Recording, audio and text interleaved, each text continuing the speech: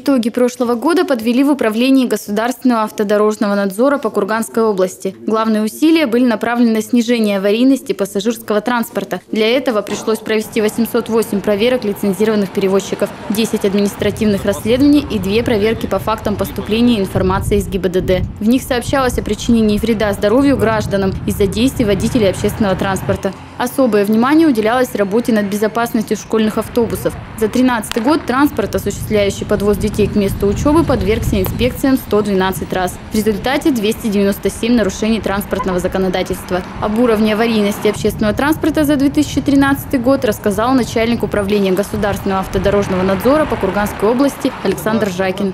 За 2013 год, будем так говорить, более 20 дорожно-транспортных происшествий, а на лицензированном транспорте где-то 15.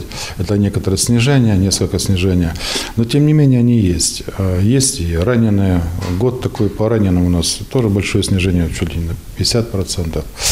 Но все равно все-таки мы должны и как бы наперед работать, на перспективу, чтобы не было каких-то таких тяжелых случаев. Поэтому это инструктаж своего рода.